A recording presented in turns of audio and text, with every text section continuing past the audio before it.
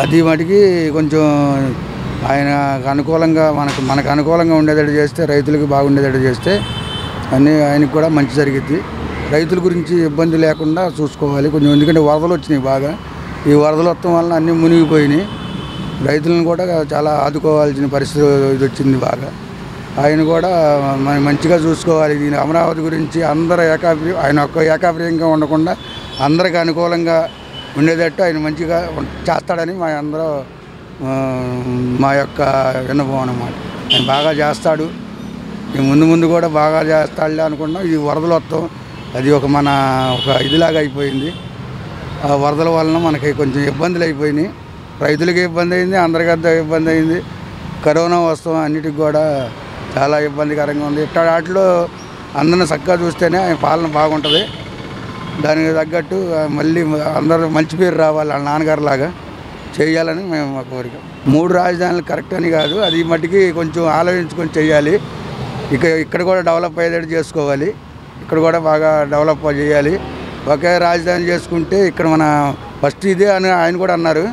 మన ముఖ్యమంత్రి గారు కూడా ఆయన జగన్మోహన్ రెడ్డి గారు కూడా ఇక్కడ బాగుంటుందని చెప్పి ఆ రోజున మా ప్రధానమంత్రి వచ్చినప్పుడు కూడా మాట్లాడారు బాగానే. మాట్లాడినప్పుడు దానికి ఆలోచించుకొని ప్రధాన అందరిని అందరి సైక్యత బాగుండేటట్టు చేస్తే బాగుంటుందని. మూడు రాజధానులు ముద్దు అని అను అందరికీ ఇష్టంగానే ఉంది కానీ ఇక్కడ డెవలప్ తక్కువ అయ్యిద్దని అటు వెళ్ళిపోతే ఇక్కడ వాళ్ళకి ఇబ్బందులకరంగా ఉంటుందని జనాల అభిప్రాయం నేను చెబుతున్నది.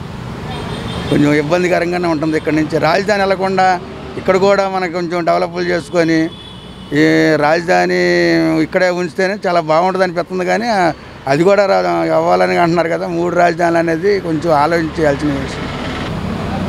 అది రద్దు చేస్తానికి కుదరదులే కానివ్వండి ఎందుకంటే జనాలు అందరూ అన్ని ఓట్లేసి గెలిపించినప్పుడు ఆలోచిస్తారు అందరూ కూడా. రద్దు చేస్తాం అనేది జరగదు నాకు తెలిసిన వాటికు ఎందుకంటే ప్రతి మనిషికి కూడా కొంచెం ఇబ్బందులు ఉంటాయి.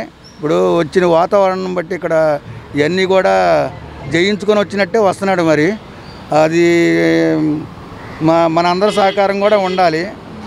రాజధాని మూడు రాజధానులు అనేది ఏంటంటే ఇక్కడ డెవలప్మెంట్ తగ్గిపోయి అటు చేస్తారని చెప్పి అందరికీ కొంచెం ఇబ్బందికరంగా అక్కడ వెళ్ళిపోతే ఇవన్నీ పోతాయని చెప్పేసి ఇక్కడ రేట్లు ఉండవు ఏముండో అసలు మనం రైతులు అందరం ఇబ్బంది పడిపోతూ ఉంటాము. అటు ఎక్కువ డెవలప్ చేస్తే ఇది వదిలేస్తారనుకున్నారు. నాకేంటంటే అన్నీ డెవలప్ చేస్తారని చెప్పి మూడు రాజధానులు పెట్టినా కానీ డెవలప్మెంట్ బట్టి బాగుంటుందని చెప్పి మేము అనుకుంటున్నాం. డెవలప్మెంట్కి బాగానే చేస్తారేమో అని అనిపిస్తుంది. చేయకపోతే మీ అందరు ప్రజల నిర్ణయం ఎలా ఉంటుందో అలా. లేదండి మీ మీడియాది ఏముందండి మీరు అందరి మాటల్లో తీసుకెళ్ళి అక్కడ చెబుతున్నారు పాపం మీ యొక్క కష్టాన్ని అందరూ గుర్తించాలి. మనం ఏ ఏ మాట పడితే మిమ్మల్ని అనకూడదు. ఎందుకంటే ఇవన్నీ అందరి కోసం జనాల కోసం మీరు తిరుగుతున్నారు. మీ యొక్క గొప్పతనం చాలా కష్టమైంది. ఎందుకంటే అందరూ చెప్పే ఈయన అవన్నీ తీసుకెళ్ళి అక్కడ పెడుతుంది మీరు తప్పే ఉండదండి అది. అది అంటాక సరిపోరు ఎవరు కూడా.